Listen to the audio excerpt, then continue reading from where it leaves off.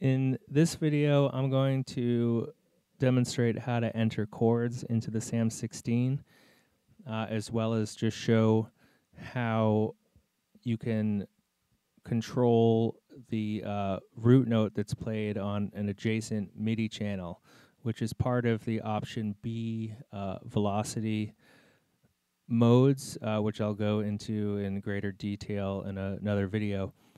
But to enter uh, chords, what you're going to want to do is uh, have a MIDI keyboard connected to the MIDI import of the SAM16.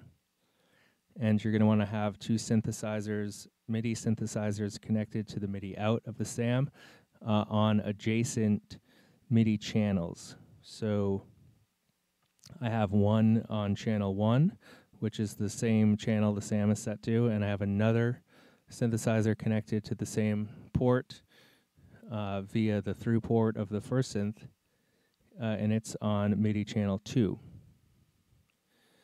And uh, that's the only way it's going to get two synths at once. Ne they need to be on adjacent channels, so it could be 4 and 5, or 7 and 8, or something like that.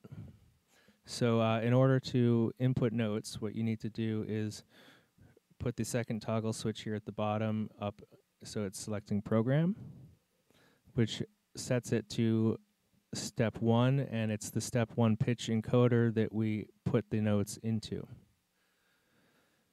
Once you've put it in program mode, it will it th throughs the uh, MIDI keyboard to the connected synthesizer. So you can hear the notes that you're playing. And in order to record the notes, you just you press it, and as soon as you release it, it's stored. And if you press a new note, it's overwritten.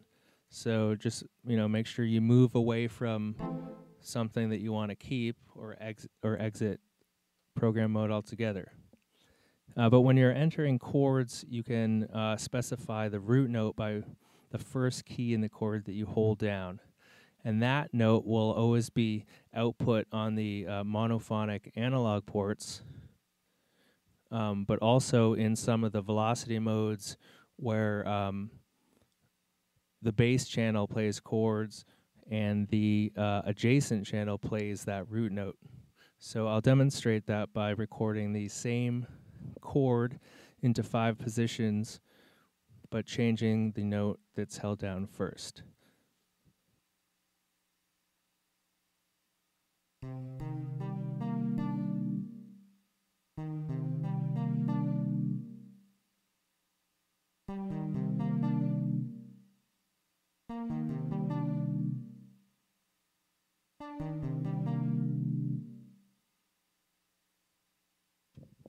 And exit program mode. Now, when we're on uh, listening to MIDI channel 1, which actually I'm going to have to put this on option uh, B3.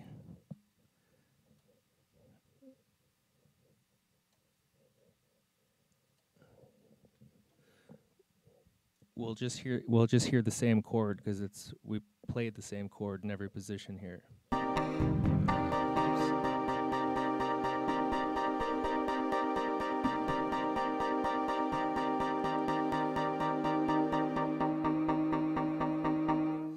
But as we listen to MIDI channel 2, which is going to be heard as the knob is on the right-hand side, we'll hear its note change in accordance to the key that we held down first in each uh, chord.